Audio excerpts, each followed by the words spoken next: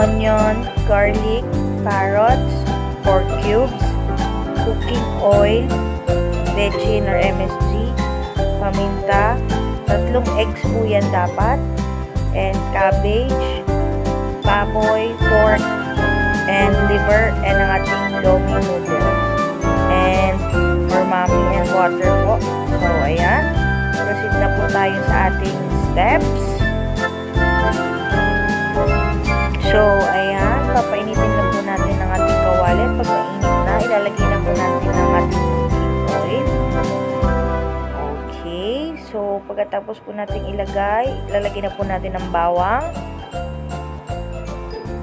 Ayan. Halo-halo ng konti. Hintay medyo mamula. At ilalagay na po natin ang sibuyas. Yung carrots sumasama. Mamaya pa po yan. Okay. Carrots. Carrots. I mean, halo-halo. And then next, atay po. Ayan. Kailangan na pong lutuin. Ganyan lang po ang kulay niyan. Pero nasa freezer po yan. Dahil quarantine times. Nakastock po. Okay, and then ilalagay na rin po natin yung ating baboy. Okay, kasim po yan. Malambot na part ng baboy. So, haluin lang natin. Halo, halo, halo. And then, lagyan natin ng paminta. And yung ating MSG bechin. Ayan, Pilipinong-Pilipino. Okay, so halo-haluin lang po natin yan para yung lasa niya ay mag-balance. And then, susunod na po natin is takpan siya.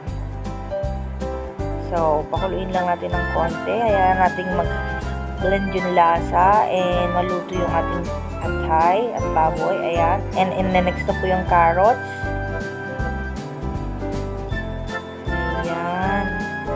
Tapos talagyan po natin yan ng tubig. Okay, tubig. Lalagyan na pa rin ng sabaw. And then, isusunod na rin po natin yung pork cubes. Hindi po tayo maglalagay ng asin. Pork cubes lang po. Maalat na po yan. And alam naman po natin maalat yung gagamitin natin noodles, yung mommy. So, ayan, papakuluan lang po natin at hihintayin po natin. And kapag malambot na po yung ating carrots, pwede na po natin ilagay itong ating noodles. Ayan. Sige, lamugin mo lang. Haluin lang natin. Ayan, lagay natin sa sabaw.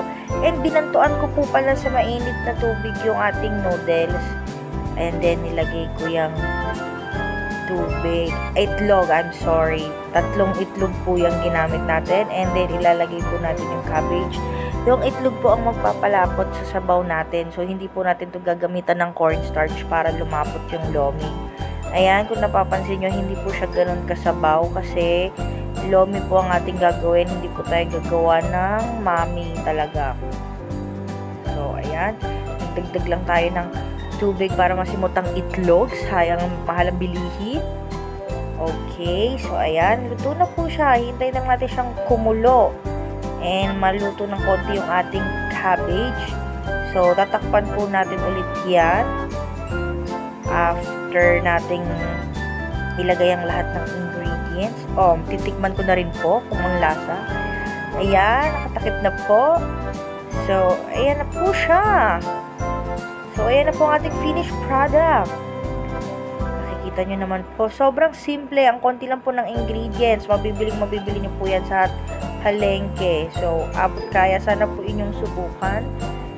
Sobrang simple po. Ayan ang ating lomi. Ayan po ang kinalabasan. Sobrang simple po at masarap. Sana po ay i-try nyo. And thank you for watching guys. Please subscribe. Bye-bye!